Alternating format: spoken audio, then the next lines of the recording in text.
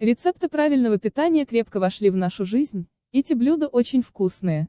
Яблочная вафля ПП готовится при помощи вафельницы или сэндвичницы, а сам по себе рецепт очень легкий и доступный. Мед, нутелла, кленовый сироп, сметана, сгущенка, варенье или джем. Любая добавка подойдет для этих вафель наилучшим образом.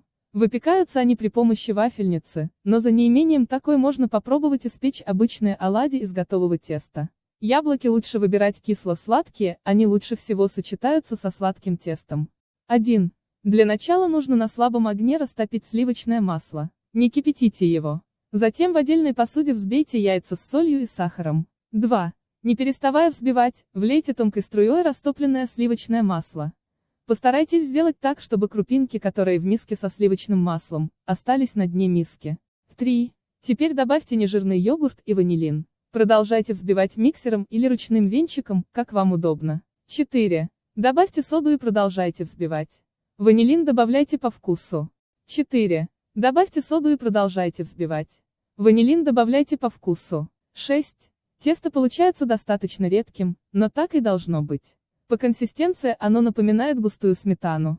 Смажьте платы вафельницы растительным маслом, выложите часть теста. Прижмите платы и выпекайте вафли привычным способом до румяного цвета. 7. Выпекаются вафли быстро. Если у вас нет вафельниц, можно попробовать испечь оладьи из этого теста на обычной сковороде. 8. Теплые вафли можно подавать с любыми добавками. Например, с кленовым сиропом или вареньем.